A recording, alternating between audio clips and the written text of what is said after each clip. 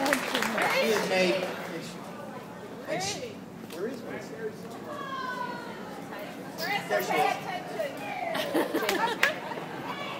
And she and Matt make such a handsome couple, clearly in love. As any father of daughters will tell you, the relationship between a father and a daughter is special. I remember watching her being born and holding her for the first time. She and I always did things together. She would ride on the yard tractor with me while we cut the grass. We fished and skated on the farm and watched the Canada geese fly in for the rain.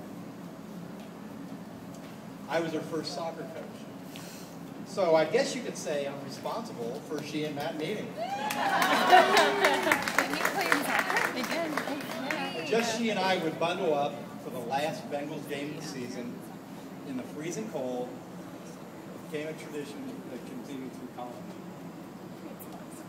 The traits Marissa developed in her teen years continue to serve her well today. Her perseverance, attention to detail, her creativity, and commitment to always doing the best has provided a framework for her successful design business. Marissa has always made a point of being herself, and she sometimes exhibits stubbornness and can be a little hard-headed. Uh, I'm not sure where she gets that. But her big heart and her sheer love of life endears her to everyone. And no father could be more proud of his daughter than I am.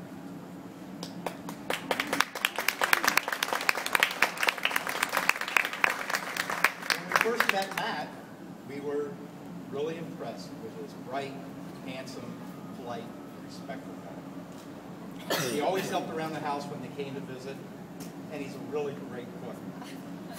But most importantly, he obviously cares for Marissa.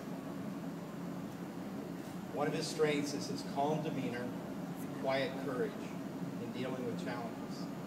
A great example of this was their ill-fated trip to the Boundary Waters.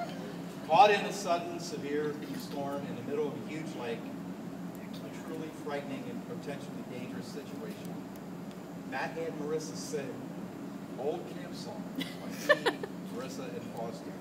Fought the winds and the waves paddling to shore. So maybe we could ask Marissa to sing some of those songs later.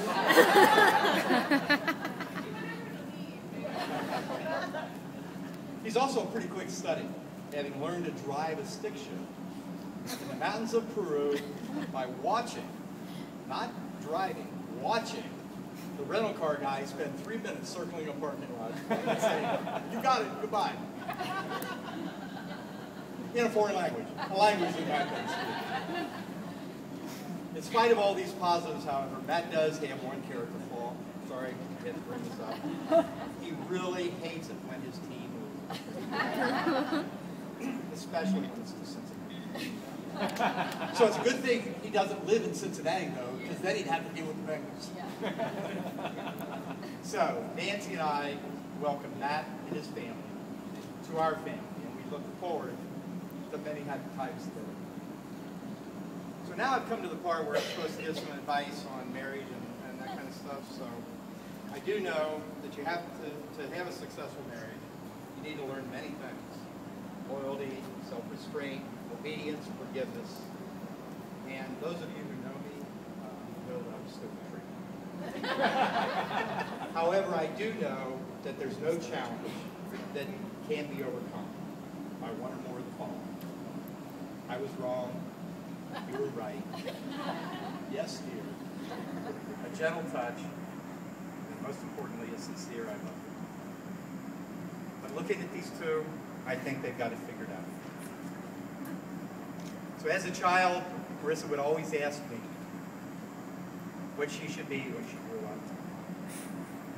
My simple answer was, be happy. Because if you are, everything else will be right. And today, I have never seen you so happy.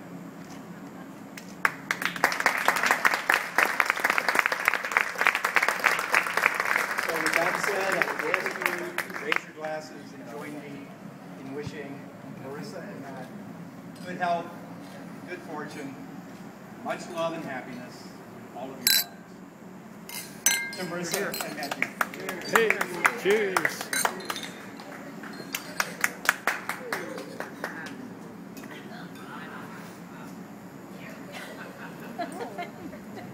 He's a good writer. Yeah. I cry for everything. He's a he's a I fighter. don't cry. I'm falling.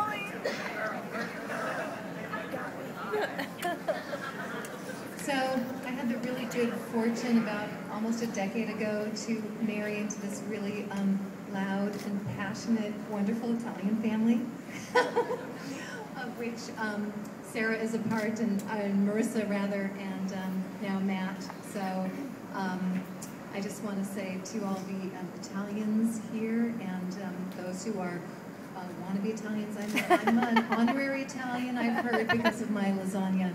But uh, it's really, it's all about family. And on this day, um, Marissa and, and Matt, we just want to honor you. And I have a little story to share about